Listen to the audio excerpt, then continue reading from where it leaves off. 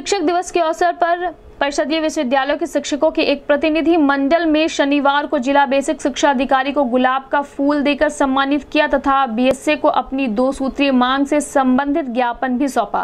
प्रतिनिधि मंडल का नेतृत्व करते हुए प्राथमिक स्कूल के शिक्षक ज्ञानेंद्र ने कहा कि शिक्षक दिवस के अवसर पर शिक्षकों की मांग है, सरकार कम से कम शिक्षकों के एक मांग को पूरा कर दे, जिससे शिक्षकों का मनोबल बढ़ सके। इस संबंध में गोरखपुर न्यूज़ से बात करते हुए शिक्षक ज्ञानेन्द्र ने कहा।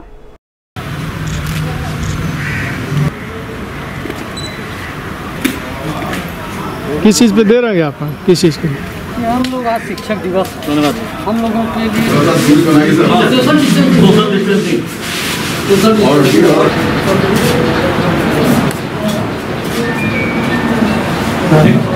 मेरा नाम ज्ञानेंद्र ओझा आज शिक्षक दिवस के अवसर पर हम सभी प्राथमिक शिक्षक बहुत ही हताश और उदास हैं कि आज शिक्षक दिवस के दिन भी अनेक पूरे ज़िले में अनेक स्थानों पर शिक्षकों को चेकिंग कर, उन्हें पकड़कर उनका वेतन घटाने का प्रयास किया जा रहा है।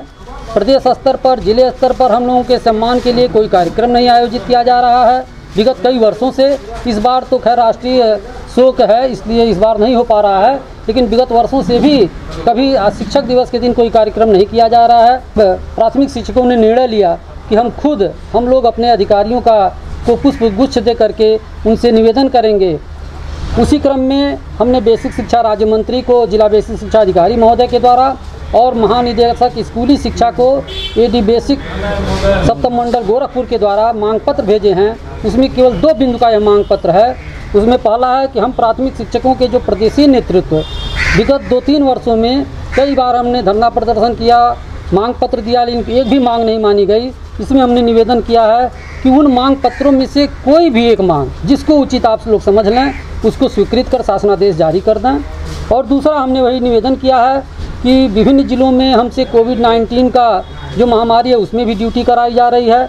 लेकिन सभी कर्मचारियों को उससे बीमा से संबंधित सुविधा दी जा रही है, लेकिन हम प्राथमिक शिक्षकों को कोविड 19 के शासनादेश के अनुसार कोई सुविधा या कोई बीमा की सुविधा हम लोगों को नहीं दी जा रही है। वह दिया जाए। विभिन्न अधिकारियों और कार्यालयों में हम शिक्षकों के कामों को निस्तारित करने में प्रताड़ित किया जा रहा है उससे दूर कराया जाए।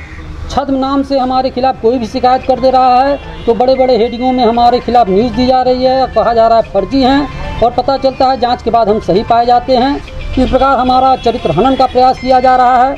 इसी प्रकार से बहुत सारी प्रक्रियाओं को अना- अ, अपनाकर हमें प्रताड़ित किया जा रहा है। उससे हमें मुक्त करने की मांग हमने महानिदेशक और बेसिक शिक्षा राज्य मंत्री से बी महोदय और ए बेसिक के द्वारा मांग पत्र भेज करके निवेदन किया है और पुष्प गुच्छ दिया है।